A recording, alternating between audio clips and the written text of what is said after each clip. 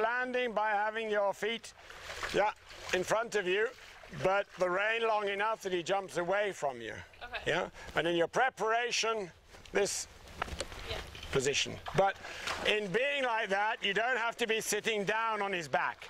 You can be more upright with your butt tucked under you, but still with your weight in your stirrups. In the preparation phase.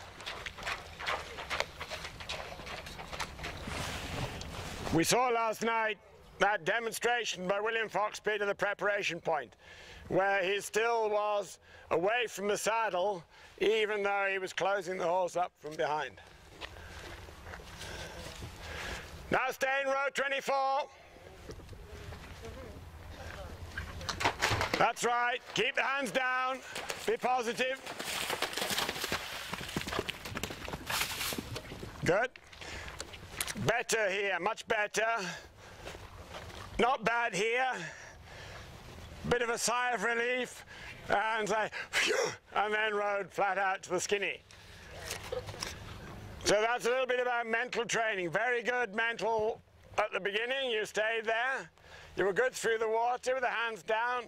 You did the step and then you breathed a sigh of relief and just raced at the skinny. Instead of just keeping nice and cool rhythm to the skinny. Because if there'd been something else after the skinny, like left or right to something else, you'd have gone sailing past it. Yeah. Yeah? So the dressage test continues. Yeah?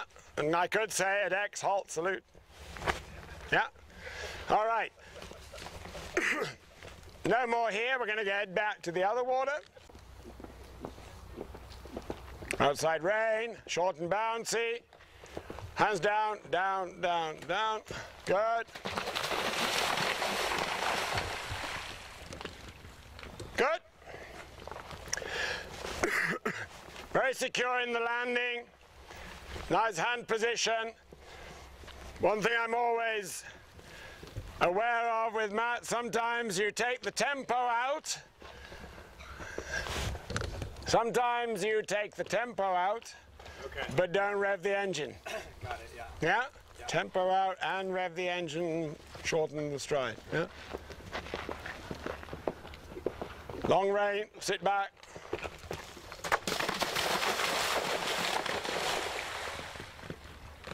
Okay. Uh, I length uh, shortened uh, Lauren's stirrups before with the objective that it would move her further back in the saddle. You want to come down here, Lauren? I can explain.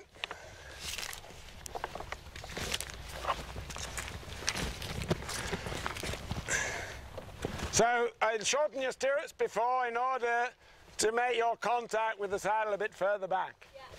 Uh, in the end, what happened here at this point as you jumped in is you stood up in your stirrups and stood over the point of balance instead of move to the back of the saddle now, move to the back now.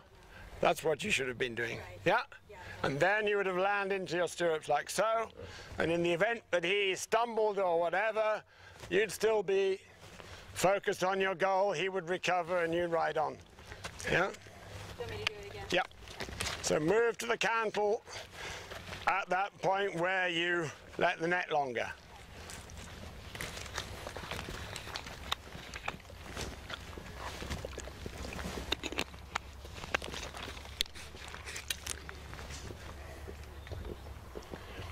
We talk about sitting on the edge of your chair with the excitement.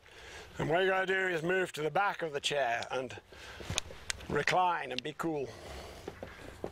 Now longer rein, move to the back. Better.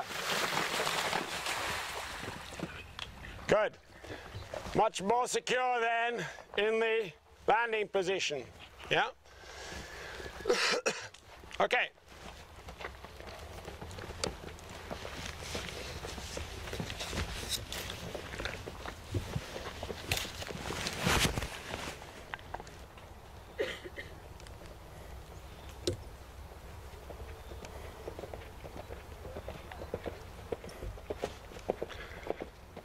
Hands down. Hands down. Don't push with your arms.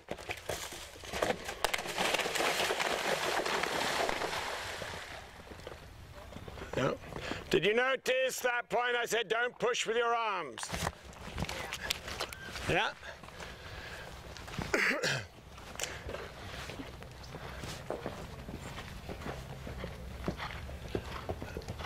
Did you hear me out shout, don't push with your arms?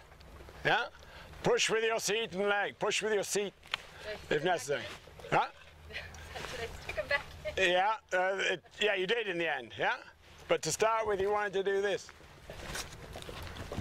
Good, stay in row 24, long neck, stay behind him. Yeah, good.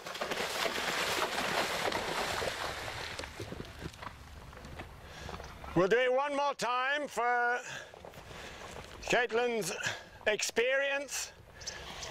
Because she was in row 24, that was great. That sa- saved her is the wrong word, but that helped her. Yeah, but she still went to fold too soon, and instead of letting the horse jump away from her. So uh, good you were in row 24. Good that you'd let the neck longer, but your upper body has this desire to hug him. Yeah, so you started going forward a fraction before he went. Yeah. Yeah, he caught up with you eventually. Yeah. Do it one more time and make sure at every point of the jump, two thirds of the horse is in front of you. Yeah, and he jumps away from you into the water.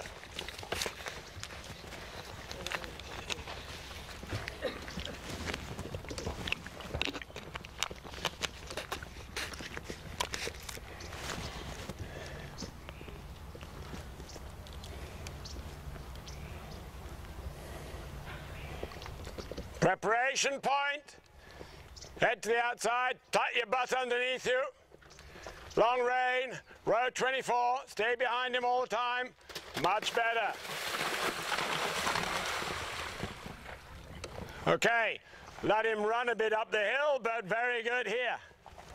Yeah.